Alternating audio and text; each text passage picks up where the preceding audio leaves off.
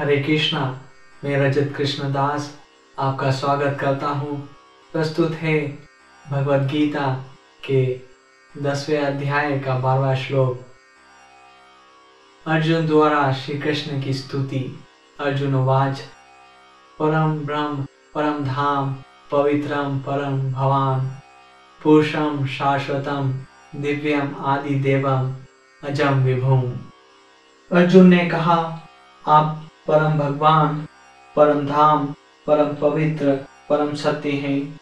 आप नित्य, दिव्य, आदि पुरुष, अजन्मा तथा महंतम है। नारद, असित, देवल तथा व्यास जैसे समस्त महामुनि आपके विषय में इस सत्य की पुष्टि करते हैं और अब आप स्वयं उसे इसकी घोषणा कर रहे हैं। हे कृष्ण, आपने जो कुछ कहा है, उसे पूर्ण रूप से मैं सत्य मानता हूँ हे प्रभु न तो देवता और न असुर ही आपके व्यक्तित्व को समझ सकते हैं।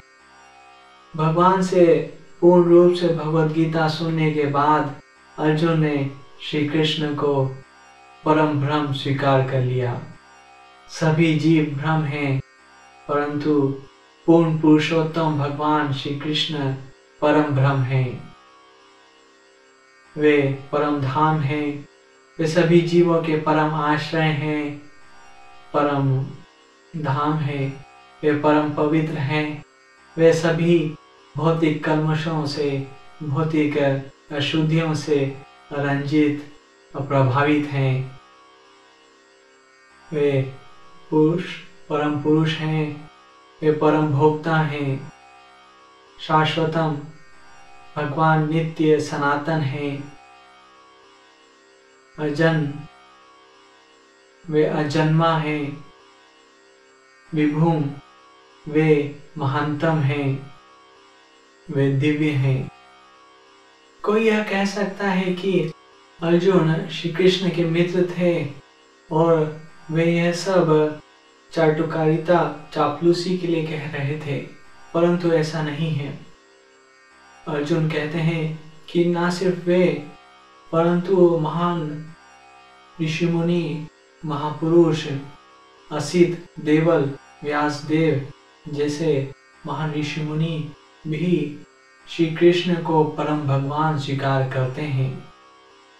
ये सभी महापुरुष हैं जो समस्त आचार्यों द्वारा स्वीकार किए गए वैदिक शास्त्रों का प्रचार प्रसार करते हैं। इसलिए अर्जुन कहता है कि भगवान श्री कृष्ण उससे जो कुछ कहते हैं, वह पूर्ण रूप से सत्य मानता है। अर्जुन कहता है कि भगवान के व्यक्तित्व को समझ पाना बहुत कठिन है। बड़े बड़े देवता और दानव भगवान के व्यक्तित्व को समझ पाने में भूल करते हैं।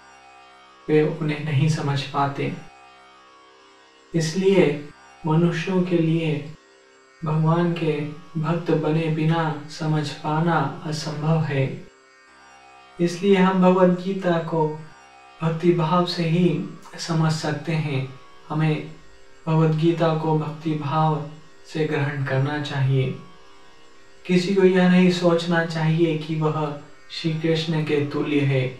श्री कृष्ण एक सामान्य पुरुष है। या मात्र एक महान पुरुष है।